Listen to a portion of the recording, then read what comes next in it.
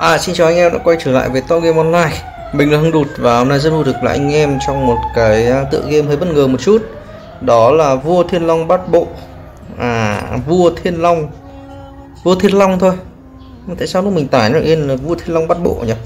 Thì uh, chắc là có lẽ là cái tên viết tắt của nó sẽ là Vua Thiên Long. Đây là Vua Thiên Long bản dọc Và mình đã đăng ký trước mình một cái tài khoản rồi Giờ mình sẽ đăng nhập vào đây. Theo như quảng cáo thì đây là một tựa game Thiên Long bắt bộ bản dọc gọi là hay nhất từ trước đến nay à, mình sẽ cùng à, các bạn khám phá xem. Wow.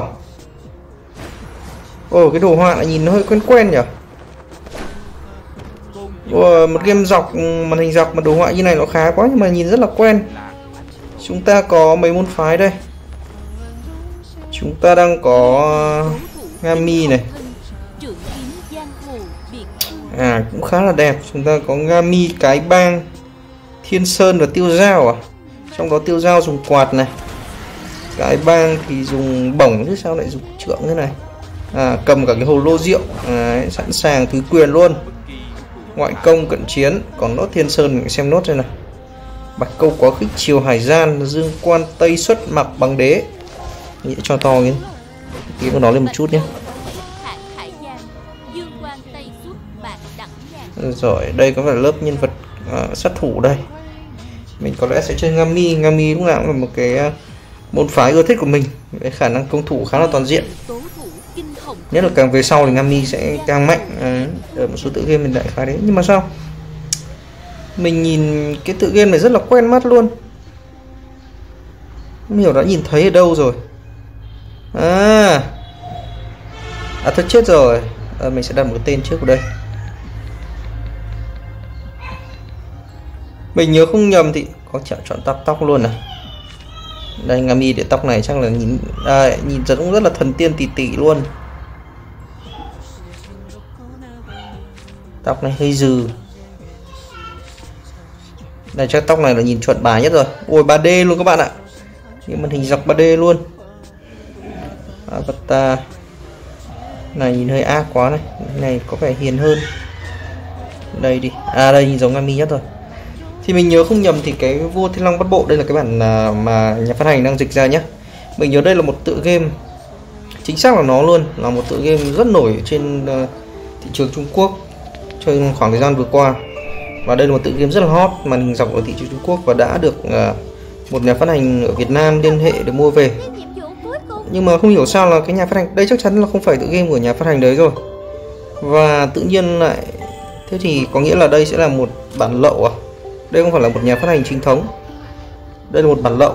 Nhưng mà các bạn có thể để ý là từ nãy đến giờ cái âm thanh rồi cái các cái dòng chữ đang chạy đây thì nó cảm giác là nó được một cái uh, cái cái um, khả năng lồng tiếng và việt sắp nó khá là toàn diện. Mình không không hiểu tại sao đây không phải là một bản chính thống mà nó lại toàn diện như vậy. Khá khó hiểu. Nhưng mà thôi chúng ta sẽ bỏ qua những cái chi tiết à, đây là một tựa game à, đây là một bản lậu đi. Mà mình không rõ là nó của nhà phát hành nào, mà lại phát hành trước khi cái nhà phát hành chính thống ở Việt Nam phát hành.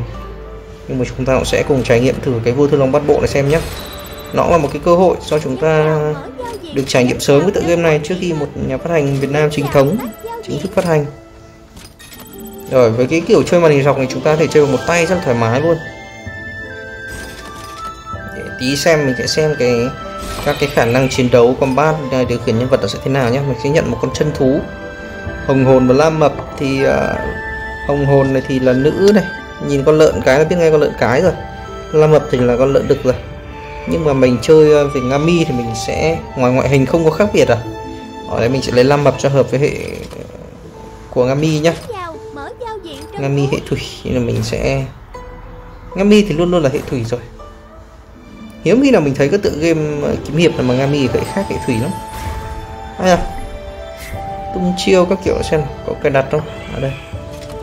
Âm thanh, chế độ tiết kiệm điện hỗ trợ hệ thống. Nhanh mượt, hoàn hảo cực đẹp. Đây, mình sẽ mở thử nhá. Hoàn hảo cực đẹp. Rồi. Còn cái khác gì không các bạn? Mới nhìn thì nó cũng không không không không có khác biệt nhiều lắm nhỉ? Thật ra thì hình hình của nó cũng khá vốn là đẹp rồi. Không có nhiệm vụ ở đây, nhiệm vụ đây mà. Đây là phó bản đi hả? Ôi có tôn ngộ không đây này? Đây, các skill của chúng ta sẽ được thiết kế theo dạng à, như thế này. Nó khá là khác với những cái tựa game màn hình ngang khác, đó là nó sẽ được thiết kế theo dạng hình hình vòm này thì cánh quạt này để chúng ta có thể tấn công và sử dụng skill ở, ở một góc bên tay phải.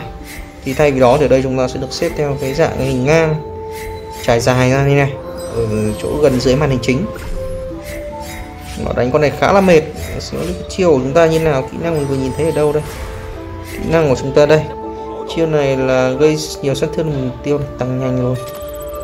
Chiêu này là dùng xong thì gây sát thương lớn cho mục tiêu. Đã đi đới thủy. Quang tây lai thả một thanh tâm luyện kéo dài 8 giây. Chưa chưa chưa chưa. Không không nói đoạn sau rồi. Dùng sẽ gây mù cho toàn tịch. Không bị sát thương. À, nói chung là các kỹ năng của Ngami sẽ thiên về buff nhiều hơn. Mặc dù kỹ năng gây đam thì cũng có nhưng mà nó sẽ là song hành giữa gây đam và buff. Kèm theo đó là một gây một số hiệu ứng khống chế đặc biệt là mù. Ngami mà lại gây mù à. Chắc xinh quá cho mù mắt. Nói sao nhà mình khá là bất ngờ về cái đồ họa của cái tựa game màn hình dọc như này.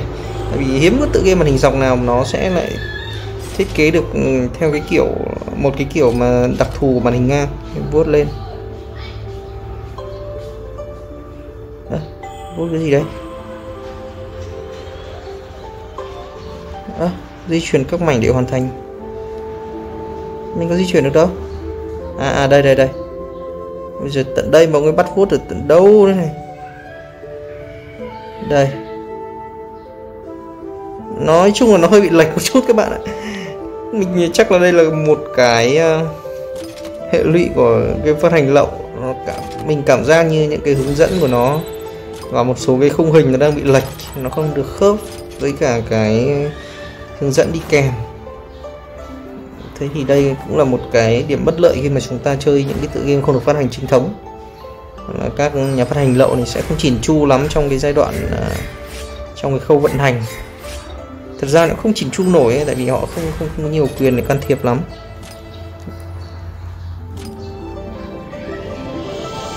Chân thú. Xuất chiến nào? Cho con lam à, lam làm gì đây? Lam bàn bàn. Ờ. Đó, câu diện đấy các bạn thấy không? Cảm giác nó sẽ bị lệch đi khá là nhiều so với khung hình ấy. là nhận thú cưỡi. Ngoài ngoại hình không có gì khác biệt. U con bạch hùng này nhìn có vẻ lạ lẫm hơn này. Nhưng mà nhìn con kia nó lại giống kiểu võ lâm hơn nhỉ? Võ lâm thì phải cưỡi ngựa chứ ai cưỡi, cưỡi cưỡi gấu này. Cũng có cưỡi gấu nhưng mà cưỡi ngựa nhìn nó sẽ giống kiểu kiếm hiệp ngày xưa hơn. Còn một điều rất là quan trọng nữa mà mình ờ, muốn thông báo các bạn đó là cái tựa game này. Mình nhớ không nhầm thì ở server ở, ở thị trường Trung Quốc thì nó là một tựa game đa hệ. Đa hệ tức là sao nó sẽ cho phép các bạn chơi cả ở trên web dưới dạng game H5 và chơi cả cả, cả game chơi cả ở trên PC cũng với dạng game H5 và có cả một bộ cài Silen như này ở Android và mobile. Thậm chí là cũng có cả bộ cài cho PC luôn đấy tức là các bạn thể chơi cái chơi cái vua thiên long bắt bộ này ở mọi lúc mọi nơi. Và trên mọi nền tảng luôn. Đấy chính là cái điểm mà giúp cho vua thiên long bắt bộ trở thành một trong những tựa game ăn khách nhất tại Trung Quốc năm qua thời gian vừa qua. Ôi khinh công này. Uh. thật sự là mà nói thì một tựa game có thể chơi trên nền tảng H5 mà sở hữu đồ họa như này với mình là vô cùng ấn tượng. Tại vì trước giờ những tựa game H5 mà mình từng chơi thì nó sẽ nó sẽ um, tập trung vào cái yếu tố gameplay và cái mảng đồ họa thì thường sẽ phải lược bỏ bớt tại vì cái nền tảng H5 nó không cho phép chúng ta phát triển đồ họa quá nhiều. Nhưng mà đây thì đang rất là ok. Cái đồ họa này mà bê lên trên web trên H5 mà vẫn được như này thì quá là ngon luôn. Không khác gì những tựa game ờ, di động ở thời điểm hiện tại. Mượt mà, có lẽ là điều mình thấy cần ừ, còn thiếu ở trong cái bản là ô theo dùm sáng hiển thị các kết kết các huyệt đạo mình đi ngược à? Ờ đi ngược. Rồi. Nhận được phúc lợi và trang bị này. Cái mà mình thấy nó hơi thiếu ở cái ờ, vua thiên long bắt bộ này chắc có lẽ là mình cần một cái phiên bản có mở giới hạn 60 fps ở đây nó chỉ được tầm 30 đến 45 fps thôi nó không được 60 fps nên nó sẽ không mượt mượt hẳn. Tầm 30 nhìn chuyển động của nhân vật nó vẫn còn hơi nó bị gãy gãy một chút. Đấy, hơi lag rồi. Nãy giờ chúng ta đã gặp rất là nhiều nhân vật nó liên quan đến cái liên quan đến cái cốt truyện của kiếm hiệp này. Nhưng mà để để để để nói trực tiếp về cái thiên long bắt bự thì đây chúng ta gặp đoàn dự đây hay cả đoạn dự. Đoàn dự và trung minh nhi. Ti không huyền đây nữa này. Đúng rồi, những nhân vật tư không huyền.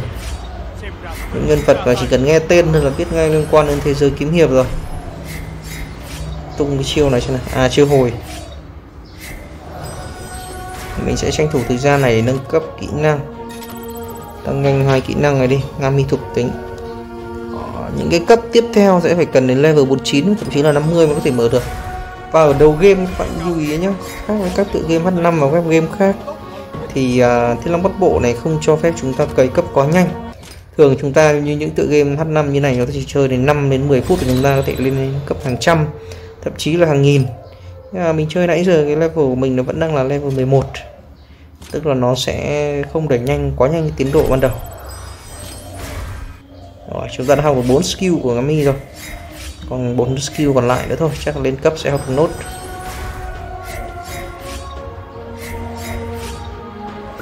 Sao chúng mình cứ đứng ở ngoài trường báo này à? Nghe có vẻ hơi có mùi du kích. Linh thiếu cung đệ tử.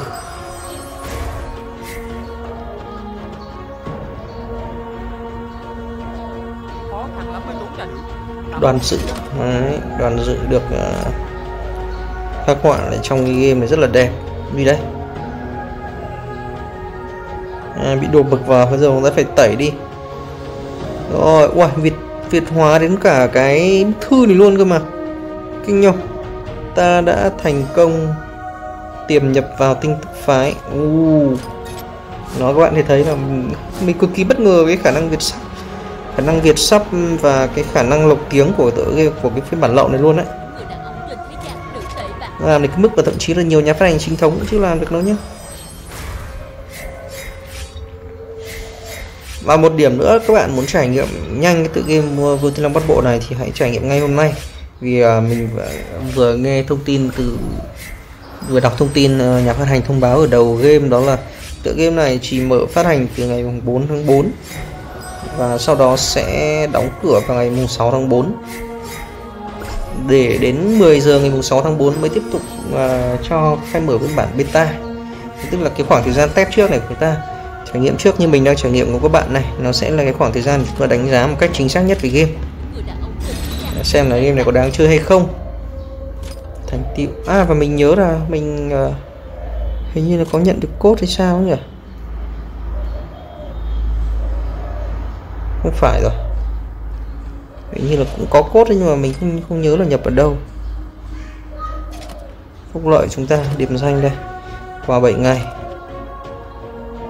Đến Lạc Dương. Giờ chúng ta sẽ đi di chuyển sang Lạc Dương này.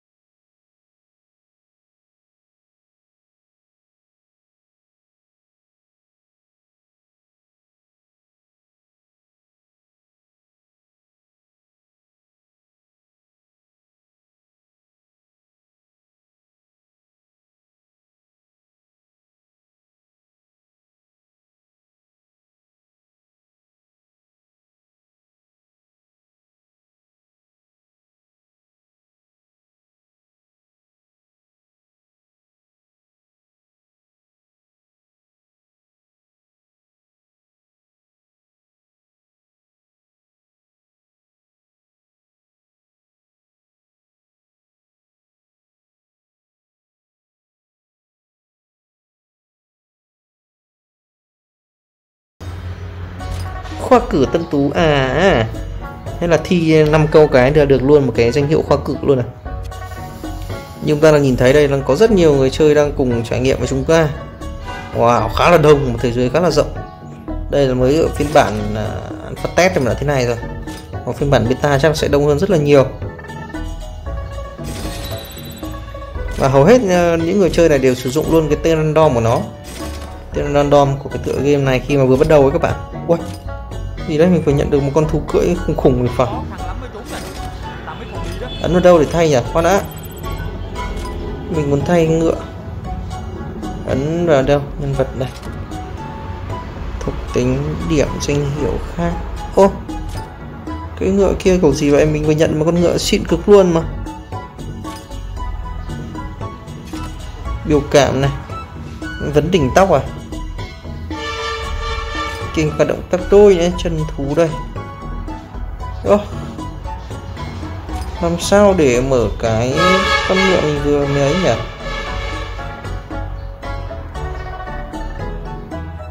Rõ ràng mình vừa mở một con ngựa rất là khủng mà. Ở đây, quang khai minh đây. Chỉ được 6 ngày thôi. Mặc đi. Mặc ngay đi khi còn có thể. Đó trời ơi tốc độ di chuyển cao hơn luôn. Phi vào vèo luôn. Đấy cái tựa game mà cho thú cưỡi nó ảnh hưởng đến tốc độ di chuyển này là mình rất là thích. Tại vì nhiều tựa game cho chân thú và cho cái thú cưỡi vào, cảm giác nó cứ sao sao như kiểu chỉ để làm màu làm đẹp đấy mặc dù cưỡi ngựa chạy chạy nhanh hơn so với đi chân đất bao nhiêu cả. Thời tiết đẹp quá rồi xác phải đi đánh con bạch kỳ này vậy. Bạch kỳ là con gì nhìn như kiểu con đá vậy? Hắc kỳ. Kỳ là cờ đúng không? Cờ đen, cờ trắng. Lại đi đánh cờ trắng tiếp. À đây là cái bàn cờ. Trời nhìn mãi không ra. Đây gọi là cái bàn cờ cờ vây đúng không?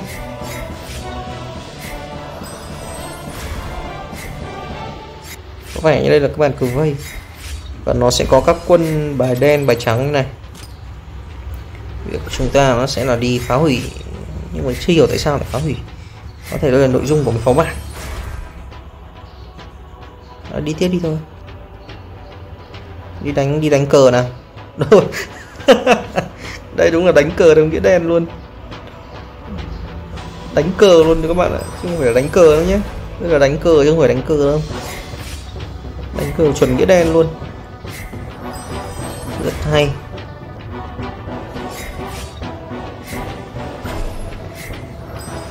Ngami của chúng ta hình như là một trong những môn phái hiếm hoi sử dụng tầm xa. À hình như là tiêu dao cũng có sử dụng tầm xa. Công quạt, đúng không? Công quạt thì cũng đánh tầm xa.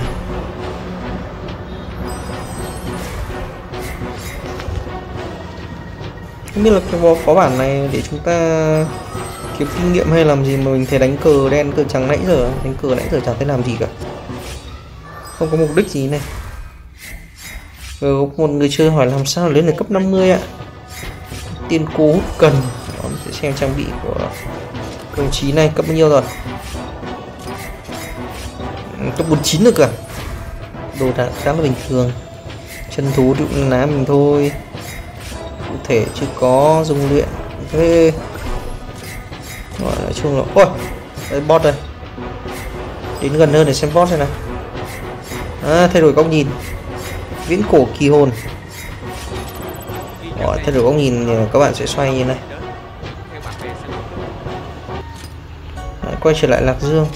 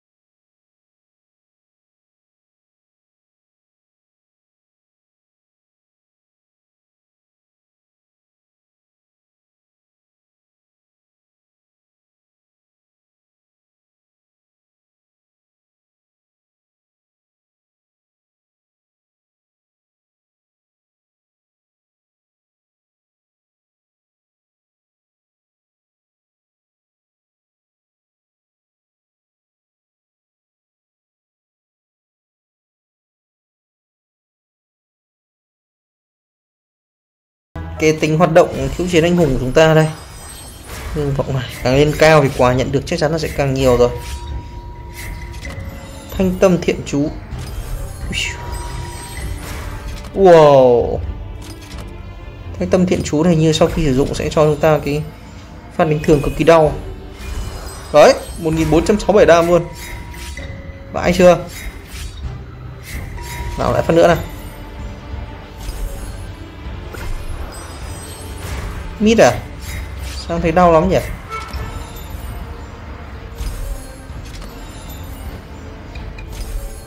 Ơ à, có cái skill thanh tâm thiện chú là cái gì? Mình sẽ xem đọc thử xem nào. Thanh tâm thiện chú. À có công hiệu hồi hp cho một mục tiêu trong 10 trong 10 mét. Trời ạ. Gây mục tiêu dùng xuyên tâm kích sát thương lớn và làm trạng thái lâm vào trạng thái chảy máu. Đó. nên mình hơi nhầm lẫn một chút các kỹ năng của nó. Hiện tại mình không cần phải hồi máu cho ai hết. Máu mình giờ đang nhiều kinh khủng luôn rồi sinh lực chiến 16 bảy 20 trời luôn. Vật lực chiến tí chả sao. Ôi chém đau thế. Này, chỉ có đứng hồi máu thôi cũng đủ chết à?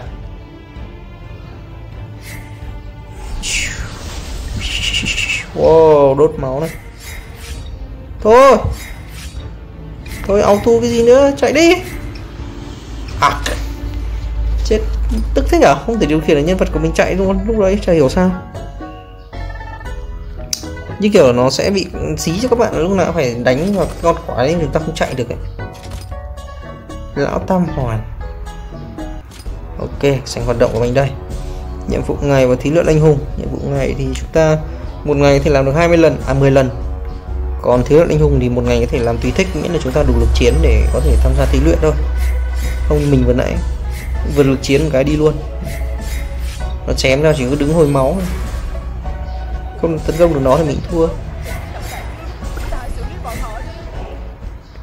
Ơ à, nhiệm vụ tiếp theo của mình là gì vậy? À mình đang trong phó bản mà.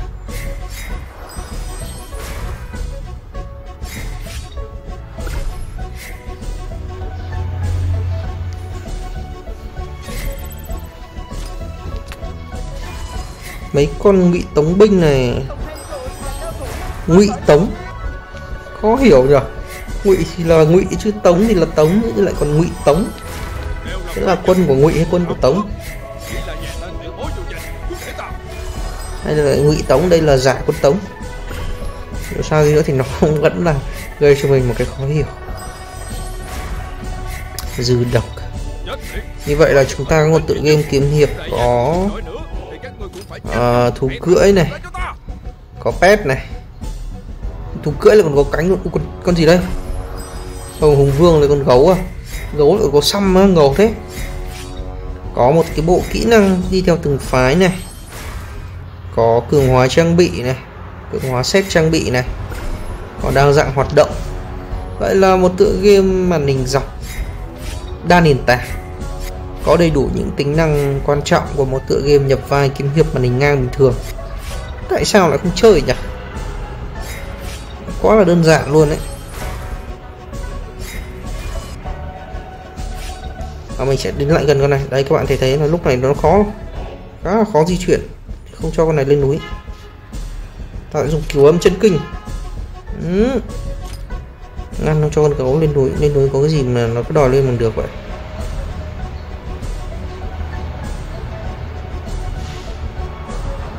Muốn có cái gì mà nó cứ đòi lên ta? Cái gì đây? Tuy nhiên thì cái khả năng di chuyển của nó hơi khó một chút. Vẫn còn quái à? À hóa ra vẫn còn quái. Đi theo đường này. Vẫn còn à, Ôi Cát Vinh sao nó di chuyển ra sau mình kinh vậy. Nhưng mà con gấu chứ không phải là con khủng nhất à? Mình lỡ dùng anti vào người con gấu rồi.